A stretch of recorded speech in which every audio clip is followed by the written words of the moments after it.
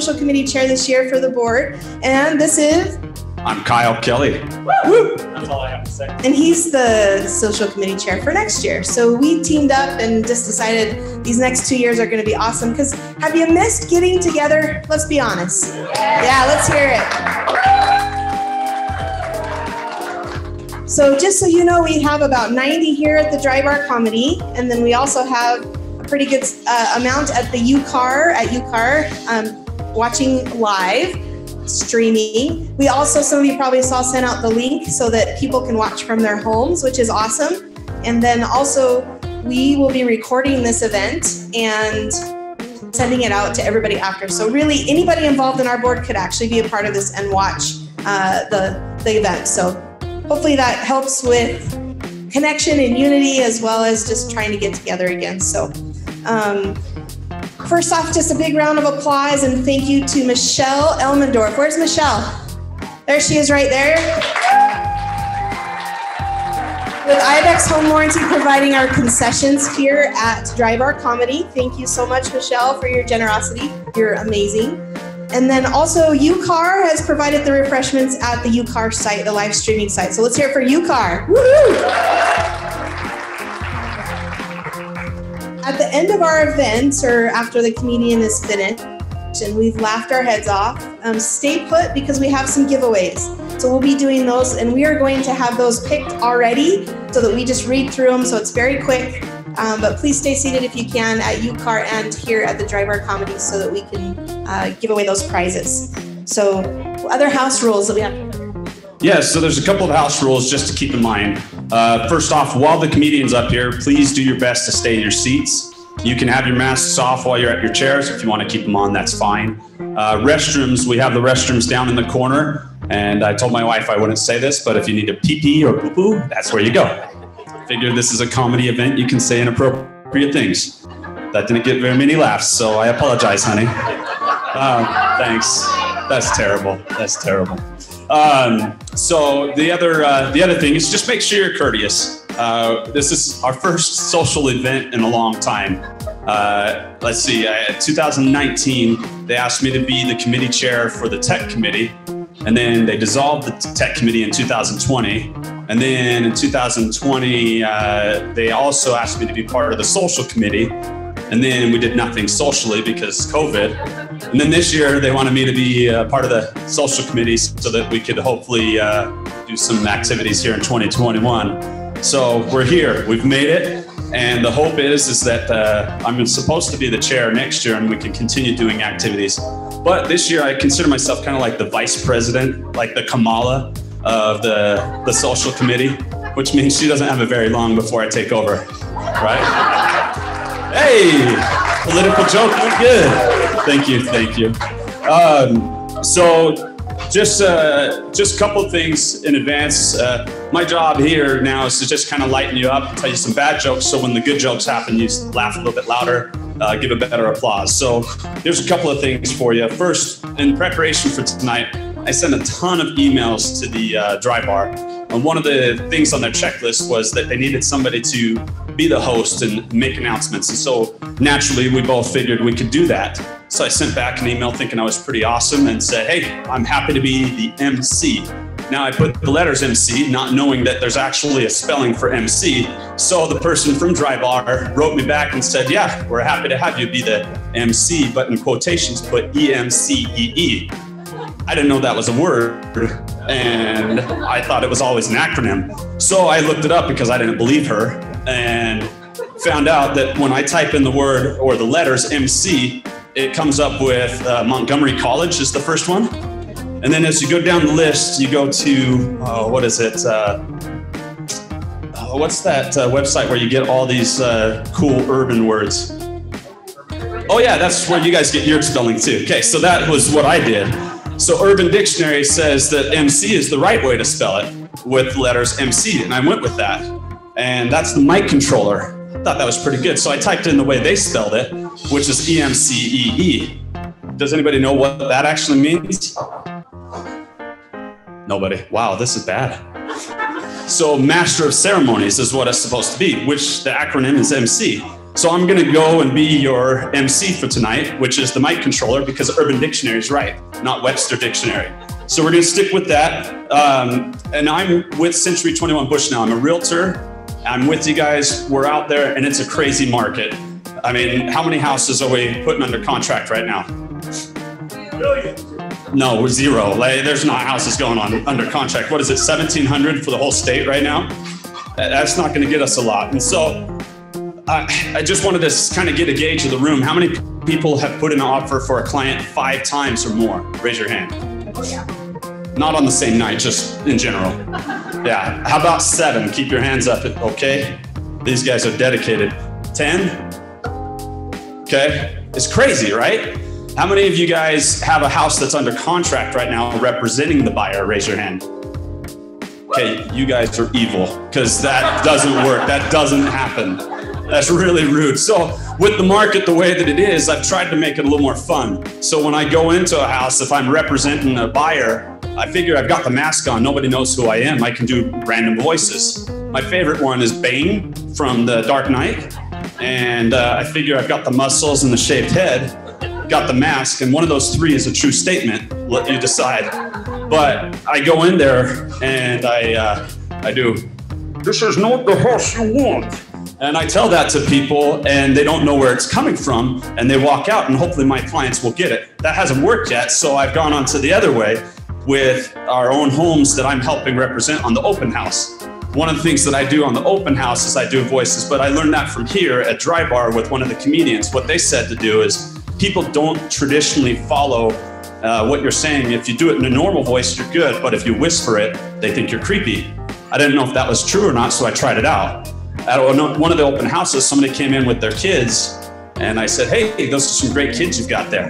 Said it in a normal voice. They were like, "Hey, thanks, man. That's great. We love our kids. They're they're fantastic." That went well. So I tried it with the next group that came in with kids, and I whispered it. Said, "You've got some great kids there." they didn't seem to appreciate that very well, and they left immediately. So I'm hoping that you guys can find a way to have fun with the real estate market, find a way to be positive, help people not lose their motivation to be out there and looking at houses. So, we're going to actually get to some good jokes so that you can actually laugh for real and not give me these pity laughs. Let's go on to our comedian. And I'll give you a little bit of announcement about him. Uh, first off, he's now my best friend. I just met him five seconds ago. So, uh, we are really good friends. He's going to hang out with me after and he's a stand up comedian and a Diet Coke drinker from Salt Lake City, Utah. Uh, just a moment ago, he told me he had stopped for one day, which is a great accomplishment. Uh, he's performed at comedy festivals all over the country, including Boston Comedy Festival, Big Sky Comedy Festival, the Seattle International Comedy Competition, and then he was the name of Best of Fest at the Golden Spike Comedy Festival, and then there's the winner of the Finger Lakes Comedy Festival in Ithaca, New York. In 2016, he was both voted the best comedian by City Weekly magazine. And then he had a debut comedy special on Amazon, Spurious. So let's give it up to our comedian here, Alex Velluto! You! Give it up for my new best friend. Couldn't tell you his name, but we will hang out all the time. So you guys are all seller buyers agents? Most of you? You're both. Both. You do both. Okay. I was worried I was just going to have to provide emotional support for an hour. There's no houses for us to sell. No, you guys are doing great then, huh? Give it up for yourself. You guys are killing it better than Bitcoin need to invest in Utah House Coin. There's nothing out there. You guys into Bitcoin too? Anybody? Good, that's a scam. I'm with you. Freaking Bitcoin. I don't believe in, in Bitcoin. When it came out, you could only use it on the dark web. And then all of a sudden, people decided it was a good investment opportunity. Have you heard of the dark web? Anything good coming out of the dark web? You're never at a party like, oh yeah, these brownies are delicious. Where'd you get the recipe? She's like, the dark web. Got it on dark Pinterest. No, the dark web. That's where you could spend Bitcoin when it came out, and then it became an investment.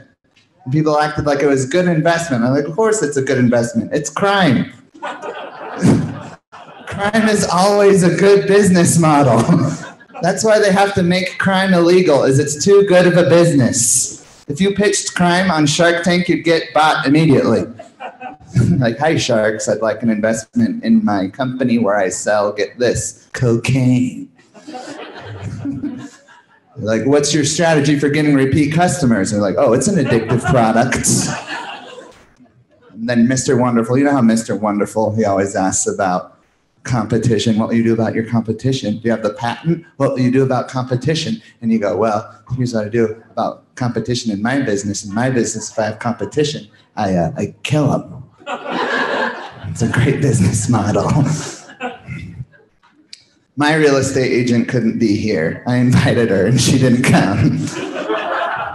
Shelly Blair. Anyone know Shelly?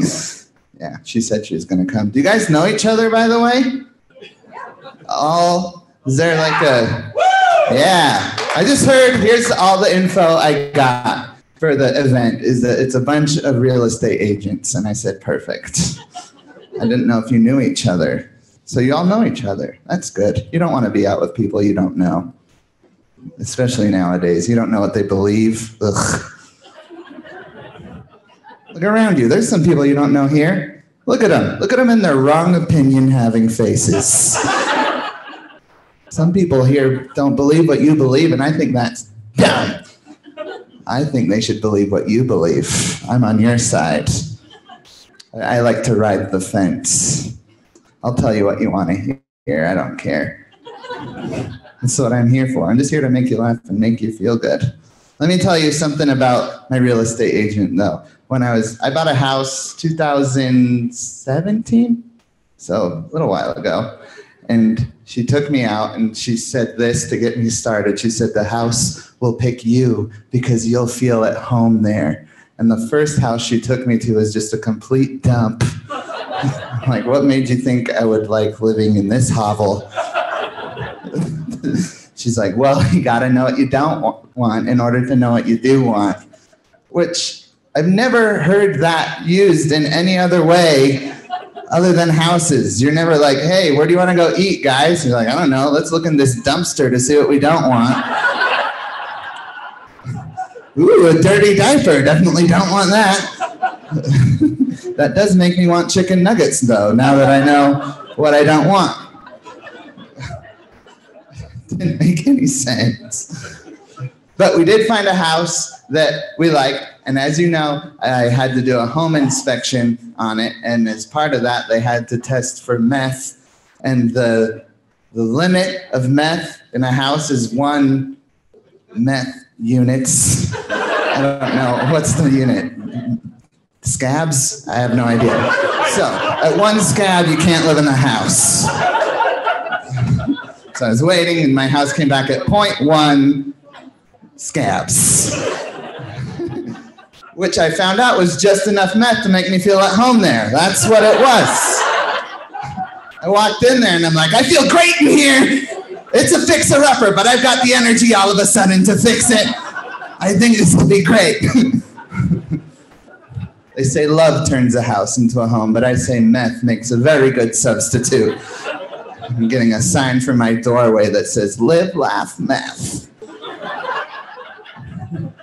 Forgot I had this on. I'll take it off. I'll take it off so you don't think I'm making a political statement. It's tense these days. I will say this nonpartisan take on masks. As an ugly person, it's been very nice for me to be have the masks. So good. Let me tell you, we in the ugly community had no idea there was even a pandemic happening they were just like, you know what? Cover your face and stand as far away from people as you can. They're like, we understand. In fact, this is the moment we've been training for our entire lives. I'm happy things are getting back to normal though, like Golden Corral's back open. That's how you know things are back to normal which I do not know how they're going to keep Golden Corral safe post pandemic. before the pandemic, I felt like I was going to get COVID. and I had no idea what COVID was. I'm like, I don't know, but this roast beef looks like it has bat wings in it or something. Don't know how they're going to keep it safe. My only guess is that you like go in there and you have to order from a waiter, which that's going to be embarrassing putting in your buffet order out loud to another human being.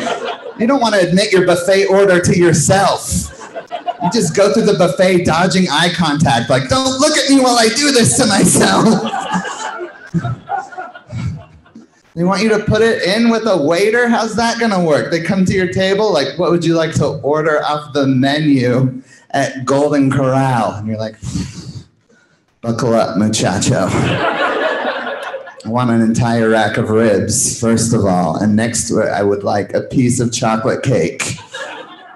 Yes, for the first course. What are you, my mother?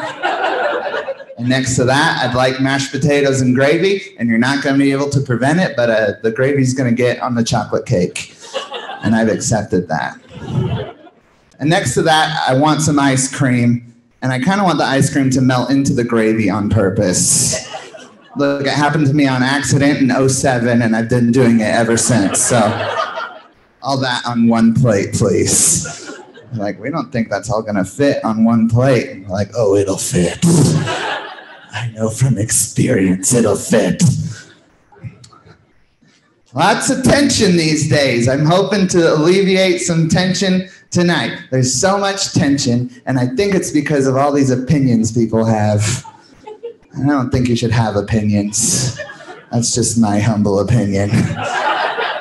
There's so many people talking. In the history of talking, there's never been more people talking than right now. Everyone's talking all the time. And I know I'm a hypocrite because I'm talking right now.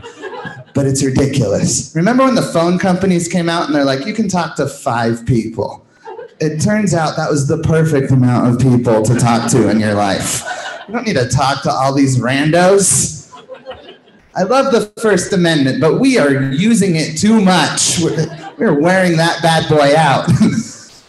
Everyone's talking all the time. You know what my, my favorite amendment to the Constitution is? The Fifth Amendment the right to remain silent. It's my favorite one. I, I use it in everyday life. Like when people they're like, Have you seen this YouTube video? And instead of just showing you the freaking YouTube video, they explain the video to you. When they do that, I'm like, I'd like to talk to my lawyer. I'd like to invoke the Fifth Amendment at this time. So much, so much talking, and so many opinions. And look, I love you no matter what your opinions are. That's the honest truth. I don't care what they are. I love you either way. I don't care like and i usually i can understand you even if we don't agree. I get it. Like you may believe in a conspiracy theory that is different from the conspiracy theory that i believe in. I don't care. I get it. I have i'm also mentally ill. You don't think i believe in conspiracy theories? I have social anxiety. You don't think i think that there's secret people talking crap behind my back without me knowing. I just don't have to look up who they are on the internet. I'm just like, yeah, it's probably everyone.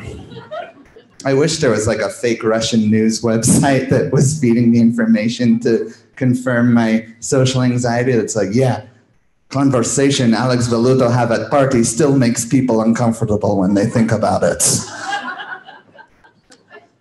Have social anxiety. It's really bad. It makes me so awkward around people. And here's the problem with being awkward the problem is not that you don't know when you're being awkward, you know. it's just that your brain gives you no better options. I am so jealous of stupid people. Have you seen them just leave a train wreck of an interaction? They have that look of joy on their face. They're like, oh, I nailed that and everyone behind him is like, what just happened? My brain, I know exactly how poorly I'm doing and I can't stop it. Like, you know, when you're telling a story to someone and in the middle of your story you realize, oh no, the end of this story is not interesting at all. but you finish your boring story. You just keep talking. You see your friend's anticipation in their eyes and in your heart. You just know you have nothing. You're going to have to apologize for speaking at the end of this. You're just going to have to be like, I'm sorry, I was along for the ride as well. I don't know how it ends. I'm going to talk to the writer. Let's get a better ending to this story. My friend told me a story about how he went to a restaurant and the waiter gave someone the Heimlich maneuver. It was a crazy story. And then so I started telling him my story about how I went to a restaurant. In the middle of telling it, I realized that the grand finale to my story was basically I had a waiter also one time. He's like, What happened next? I'm like, I'd like to invoke the Fifth Amendment at this point. but I love you. You know why I love you? You're here and you're listening, and that's rare. I love people that listen, and we do not like people that listen these days. We're so paranoid that everyone is listening to us all the time. The government is listening to all of us. I would love it if the government listened to everything I do. I could use the followers obviously. I pay a therapist good money to listen to me. I just use the CIA sometimes to listen to me. I'm like, hey, I'm thinking about building a bomb because I'm having a really hard day today, CIA. Complain about listeners. Complain that Facebook is listening to us because because you'll say something to your friend and then later Facebook will show you an ad for the very thing that you were talking about. And we say, that's creepy. I think it's nice. They're listening to me and giving me suggestions for things? My friends don't do that. Never talking to my friend like, I can't commit to anything. And he's like, you know what you need? A wireless network with no contracts. we complain that Facebook listens to us it's the only one that listens and we complain. I think Facebook would be sad if it knew we were complaining. It's like, excuse me for trying to be helpful, okay? I'm the only one that listens to you in your life. You're the one that brought up that you needed a new hemorrhoid cream, so I just showed you an ad for hemorrhoid cream. I don't see what the big deal is. I'm just trying to be a friend. I'm not telling anyone else. Let's just keep the hemorrhoid thing between us. That's as dirty as I'm gonna get, so. I don't think people are listening to us as much as we'd like to think. Like, we think that Alexa is listening to us because they gave Alexa a woman's name. Catch my drift? Deep down, we know women listen to everything that you said, and they store that information and use it against you later in life. But Alexa is not a woman. You know how I know? Whenever I talk to my Alexa, it's always like, oh, I'm sorry, I'm having a hard time with the connection. Like, Try again later, contact support. I'm like, that's my line, Alexa. If Alexa was really a woman, you wouldn't even have to talk to it. It would talk to you. it would tell you what to do. Here's a list of things for you to do. And I'll wait your approval on those things. you know how else I know Alexa is a man? Because it doesn't understand what my wife is saying either. My wife is always talking to Alexa. Alexa never responds. And my wife gets so frustrated. She's like, Why won't Alexa listen to me? I'm like, I think it's just because you keep giving it a lot of commands, like right in a row. And you never really stop when you talk. You just keep going from topic to topic. So that's kind of hard for us, I mean, her, to understand what you're saying. And I think if you slowed down, maybe she would hear you more. She's like, That's what Alexa thinks? I'm like, yeah.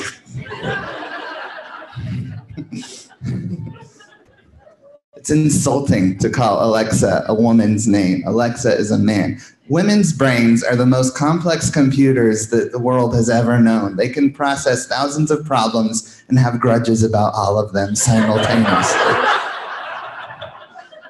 Alexa's brain works the same way a man's brain does. It is a simple speech recognition call and response software.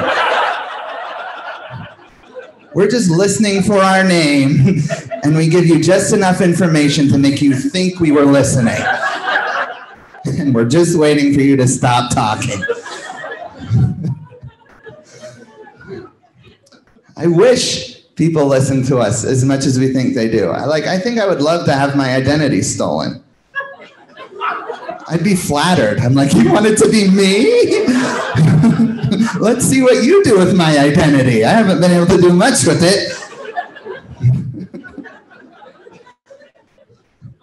we think that we're the ways we protect our identity are so strange. Like when you go to the doctor, the only thing they ask you to confirm your identity is your name and birthday. You think people should remember my birthday. Nope. That's the hospital's like, this is literally the highest level of encryption we could think of to protect your most personal medical data. I'd love it if my identity got stolen. Uh, here's the thing I'd love to see what someone could do with my identity if they weren't burdened with my personality. Because that's the thing, they don't steal your personality with your identity. That'd be kind of cool. You'd be like, yeah, he's got my credit card number, but I also know he's not making eye contact with anyone. when we get our identity stolen, we're not even mad about the money. I think we're just mad that the person is doing more with our identity than we ever have. Your credit card company calls and be like, did you just buy your dream house in Jamaica? You're like, no. I don't have my act together enough to do that. Fake Alex is doing things that real Alex can't do. Maybe fake Alex is the real Alex. But I'll tell you my identity. You want to know my identity? Yeah, I'll give you all the information. I'm a, a, married person. Uh, my birthday is March 28, 1989. It's coming up on Sunday. And I know by the end of the show, none of you are going to remember that. I'm not ashamed of it. I had a, I have a one and a half year old baby. We had the baby six months before the pandemic. And uh, before 10 months before that, we got married. Some of you can do math. I knew my wife for a period, and then we had a baby.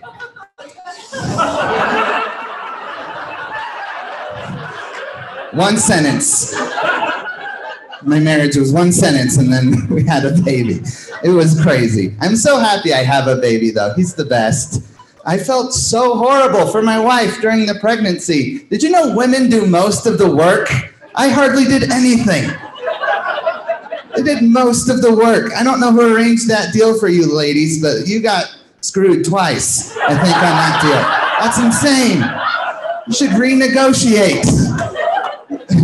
They set pregnancy up like a group project from school.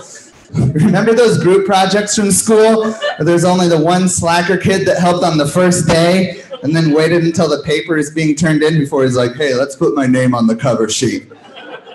That's how I was like at the hospital. I'm like, you know what? Let's put my last name on this baby. I helped out for about two minutes at the beginning of this project. And I'd like partial credit, por favor. Being a parent is so hard. Here's the best way I can describe it. Being a parent feels like you're in a mental institution where you're trapped with the thing that put you in the mental institution.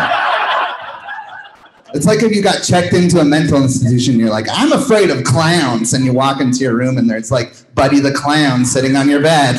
Like, I don't think I'm going to get better. With a baby, your house feels like a mental institution. Everyone speaks gibberish, not just the baby, everyone. No one is sleeping, everyone's crying for no reason, and Daniel Tiger is playing in the background. And you can't even tell if it's on or if it's just in your head. So that all happened, and then the pandemic hit, and I'm like, oh, I'm pretty stressed. so I started going to a therapist, which, I, uh, as a comedian, that was pretty late in my life to go to a therapist. if you hear a comedian say they go to a therapist, your reaction should be, of course. But my therapist is really great. He's really funny. He does an hour of material every week for me. It's so great his favorite bit and my favorite bit is where he blames everything on my parents. That's my favorite bit. I'm going to do it for you tonight. It makes me feel so good. Therapists don't like your parents. Did you know that? That's the first thing you, they'd say when you walk in. They're like, Do you have parents? like, yeah. He's like, Those SOBs. They did this to you, huh? like, you know nothing about me, but I think you're onto something, Doc. How did you know? He's like, Oh, I could tell.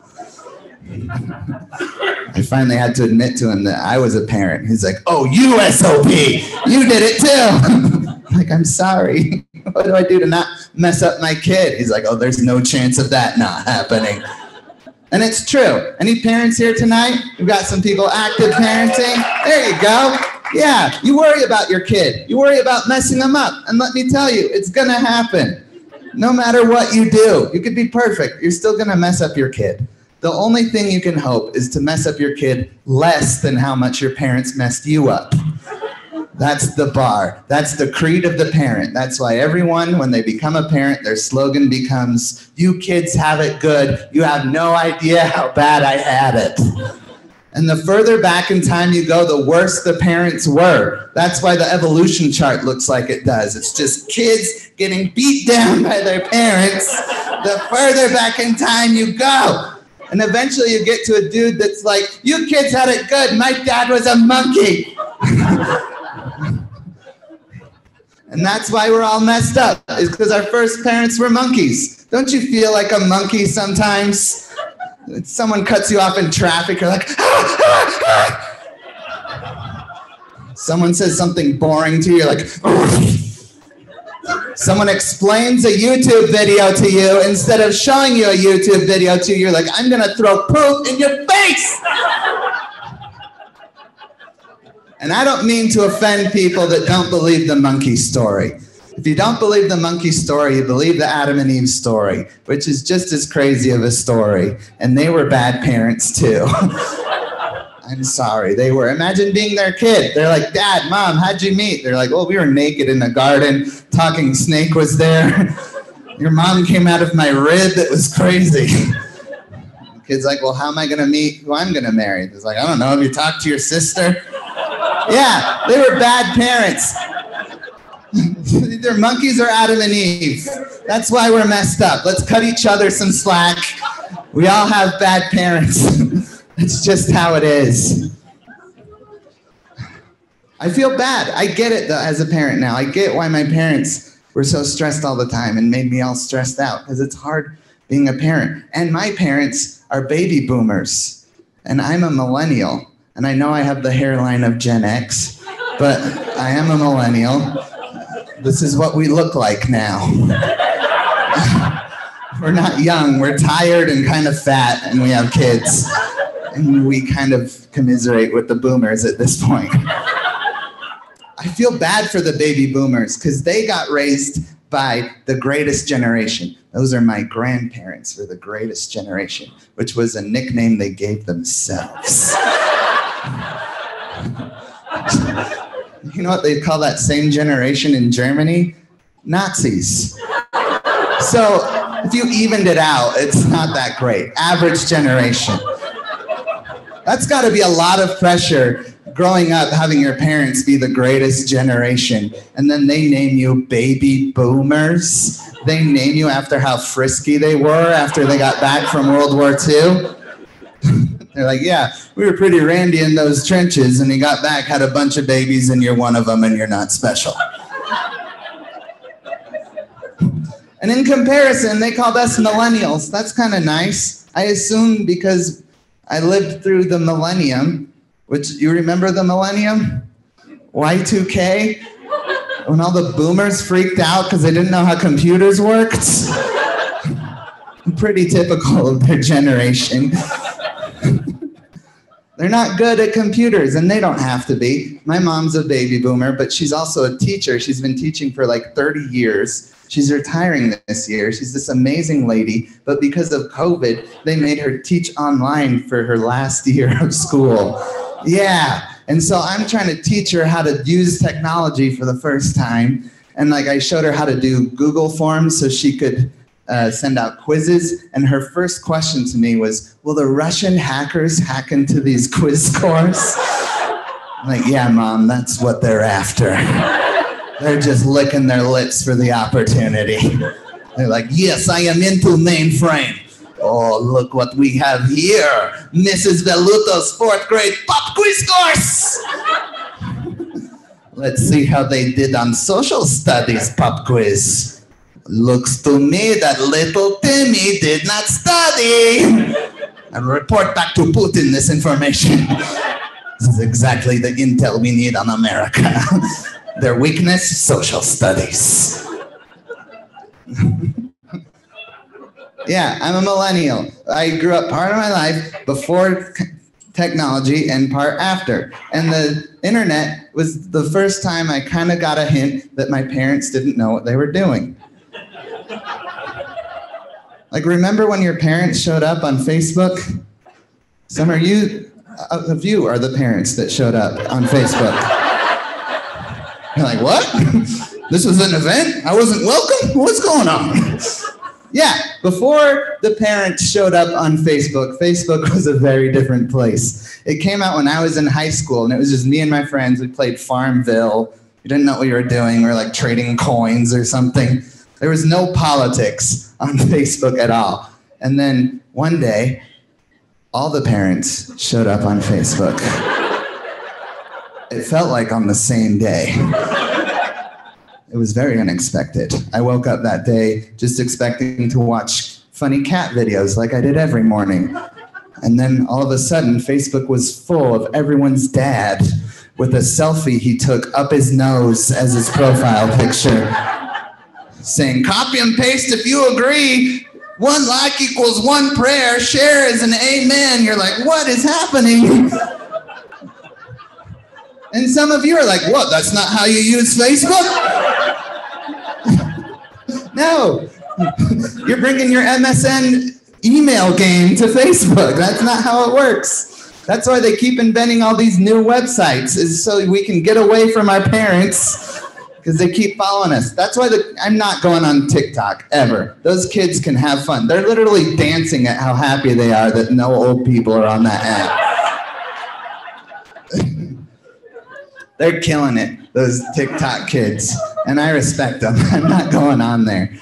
That's so good for them to know at an early age how dumb parents are. I learned way too late in life how dumb parents are. I was like 25. That that should be the talk that you get as a kid, not the birds and the bees. It should be that your dad is a dummy talk. As soon as my kid's able to talk, I'm gonna be like, look, I think you're old enough to know that I'm just kind of winging it over here. So just don't take anything I say seriously. I love you. I'm just doing the best that I can.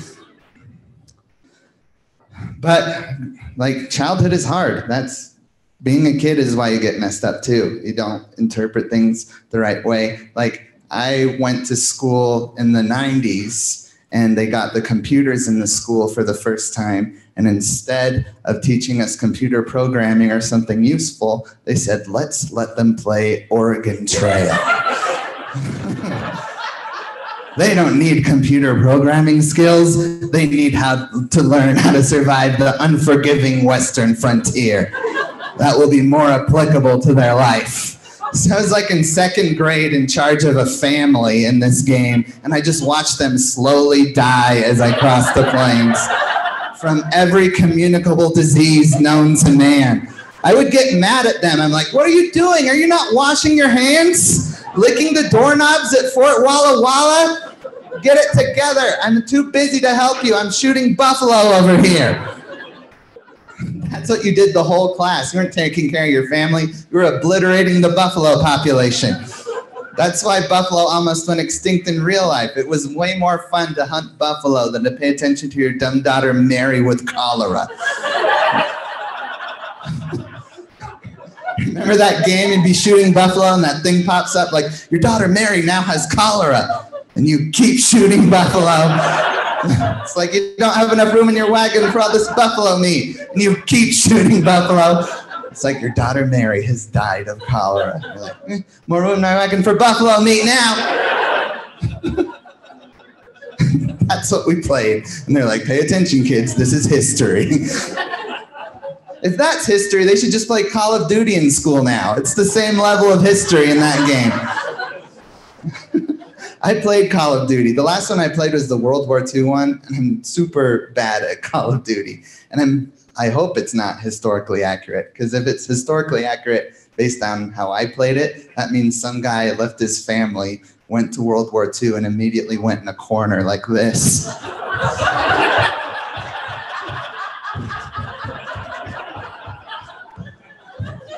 There are those Nazis. I don't see them anywhere. What he doesn't see is a German tank slowly creeping behind him, and he gets flattened by a German tank 13 seconds into World War II. I hope that didn't happen in history. Imagine being that guy's wife explaining to your grandkids how Pop Pop died. Man, how did Grandpa die in the war? Well, you see, your grandfather was what was known as a noob. And he went to war and was immediately pwned. It was very sad. and still out of breath.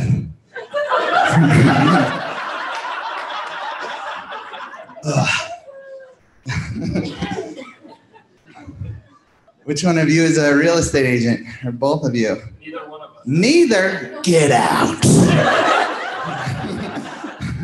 what are you doing here? We work with the Oh, you work with the agents. Oh, cool. What do you do? Home warranties. There you go. Thanks to IBIX for providing the concessions. That's cool. I assume in order to get the concessions, you had to call in, get approved for the concessions, and someone comes to you to give you the concessions. They give you a bill, and then you send it back to the IBIX to get reimbursed. I only used my home warranty once. Is that how it works? I you know the home warranty game sounds awesome. It's your agent is like, you're gonna get a home warranty and they're gonna pay for it. And You're like, okay. And you sell your house, you're like, you gotta buy this person a home warranty. I'm like, I don't even know what it is. So you, I just besmirched your whole profession and I'm so sorry. It's okay. I'm up here. You're killing it. And I got a new fridge. It just reminded me I gotta replace my fridge on my home warranty, right? Is that how it works? I don't know. I have it. I have no idea how it works. I don't know how a lot of things work. What do you do for the home warranties? I sell. Oh, you sell them. Okay. Well, that's easy. So you're getting one and they're paying for it. Uh, okay. Is there is it even an option to not get the home warranty? It is? Oh, darn it. It just shows me I need to be more assertive. I refinanced. I think I had to buy myself the home warranty. The, the bank was like, you're getting a home warranty and the seller is going to pay for it. And I'm like, I'm the seller and the buyer. And I'm like, I don't know. I just went along with it. I'm like, okay. Anyone do HELOCs here? I'm looking for a HELOC. No, no one wants to approve me. I'm. Oh, you do. Cool. We'll talk after the show. He's gonna. He's gonna assume what I make based on my comedy. Factor that into the income calculation.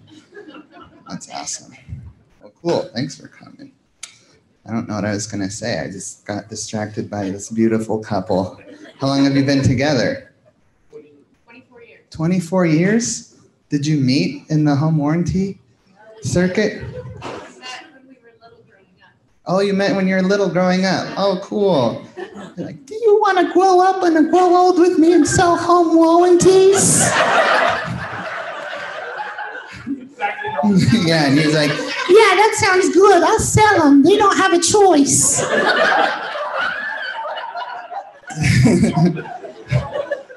I'd watch that movie. home warranty, the movie. home is where the warranty is. That's a that's a lovely story. So you 20 years, so you're like 24 now? What's how old are you now? If you I'm 45. 45? Dang, I'm I look older than you. I'm only I'm gonna blame the Diet Coke that I'm bragging about drinking all the time. I drink no water. There's sometimes in my life I'm like, I haven't had water in four days. yeah, my wife gets very upset at me about it. It's like the only fight that we've had. She's like, You need to drink more water. Diet Coke is bad for you. I'm like, That is what Big Water wants you to think. It's propaganda from the Big Water corporations. My problem with water is it's flat and it has no Diet Coke in it. It's terrible. It's not even trying. You drink it, you're like, ugh, no syrup in this. What? Is there a mistake with the fountain? And like, no, this is water. Ugh. I hate water so much. And my wife is like, How do you hate water? Your body is 70% water. I'm like, That is the exact amount of myself that I hate. Doesn't seem like a coincidence to me. I hate the moist parts of myself. Yeah, you wouldn't have the word moist without water. It's out to get ya. I want nothing to do with water. I hate swimming in it too. Because as a man, you have to take your shirt off when you swim. But when it comes to my body, I like to keep things as vague as possible. But when I swim, everything is wet and shiny and specific. My least favorite part about water is, swimming, that is, is this. Did you know this about swimming? When you go under the water, you can't breathe. That's creepy. Swimming is so creepy because water's going, hey, how about you take your clothes off and I'll choke you a little bit. I'm not into that at all. I'm a dry bar comedian. This is not cool. Here's something I'm kind of ashamed of, but mostly proud of. I drink so much Diet Coke that I have 20,000 7 Eleven loyalty points. You have to spend $1 to get one point, and I have 20,000 points. Do the math on that. That's a lot of Diet Coke. No kidney stones, though, right? High five. Never redeeming those points. Never, ever. You want to know why? Every time I walk into 7 Eleven and I go to the cash register, the cashier is always like, You have 20,000 points. And I like getting that kind of respect. I feel like an Old West legend bursting into a saloon in a town, and my reputation precedes me. I just come in, and the lady's like, My stars. I'd heard tell the legend, but I didn't reckon it was true. and I tip my hat and I go, You better believe it, little lady. they call me the Big Gulp Kid. She's like, Well, why don't you redeem those points? I reckon you could get a taquito. A dry, dry taquito. that's been rolling on our grill since Tuesday last. I go, I don't do it for the taquitos, ma'am. And I don't do it for them dusty hot dogs you got on there, neither. I just do it to show my loyalty. And I reckon I do have enough points that I could buy this here establishment. But for now, I will leave just as mysteriously as I came.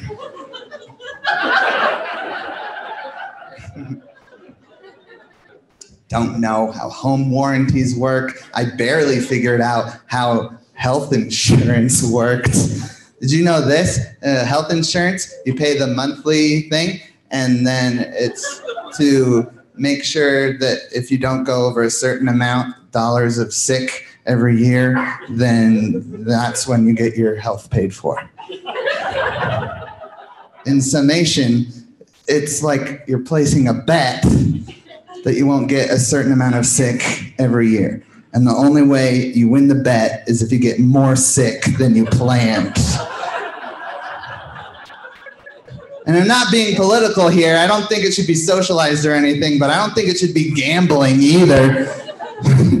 Your health insurance company looks you up and down and are like, all right, you've been sickly before, you drink a lot of Diet Coke. I give you $5,000 a year. And you're like, I'll take those odds. Have you ever met your deductible in the year? You feel so good. You're like, I bet the over punk. Pay up. That's me sliding my insurance card. You meet it every year? Oh man, I can't believe you yelled that out in public. you just broke every HIPAA lie I've ever heard. so, what are your diseases?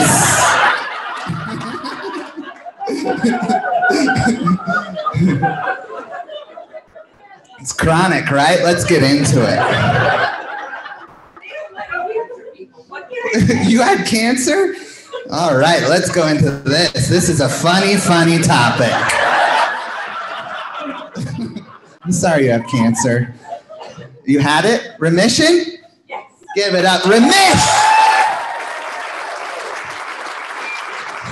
There you go. Look, I don't mean to ruffle any feathers, but I hate cancer, and I don't care who knows it. I won't ask you what kind of cancer it was, even though I'm assume she'll probably yell it out later. Colon.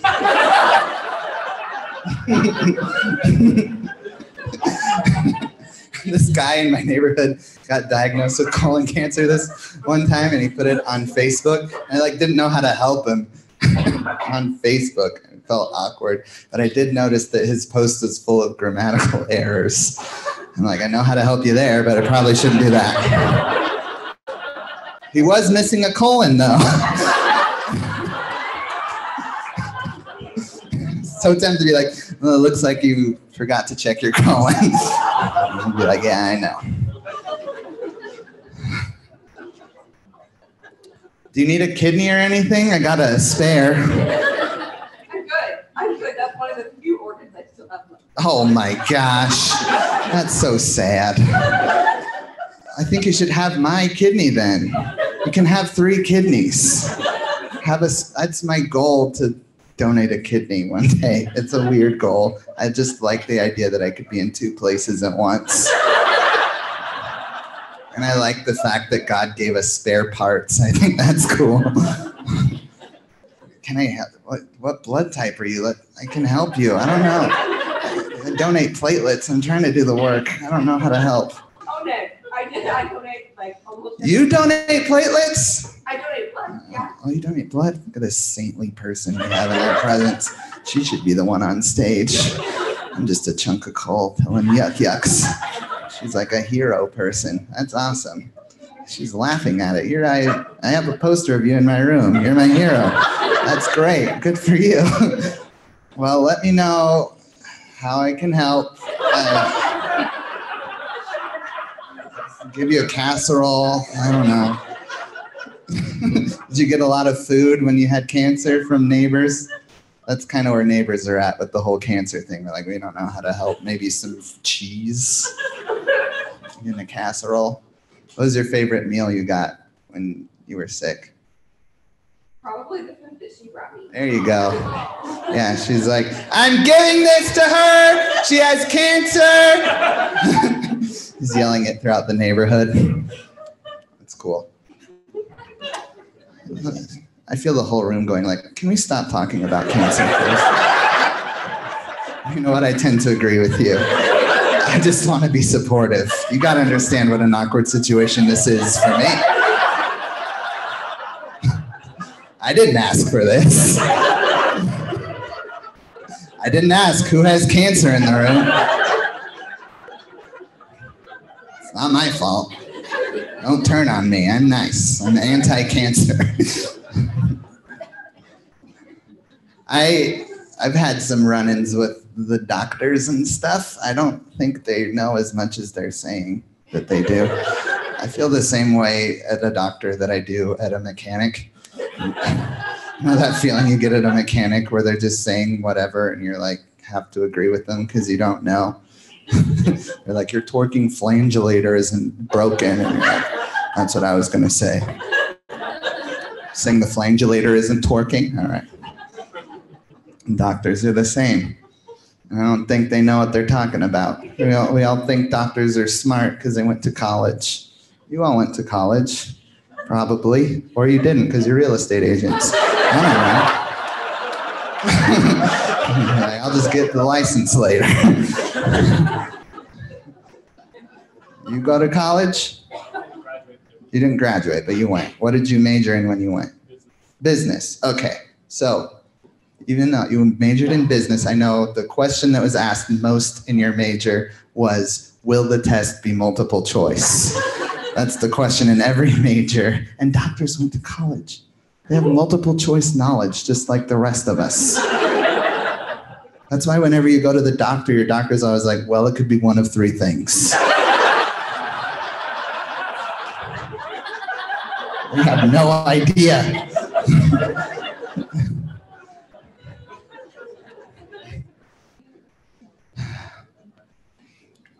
well, cool. I, I don't know why I have this instinct to keep talking to you, but I support you. I just, my heart goes out to you. I feel so bad. Who else has cancer here? I don't know.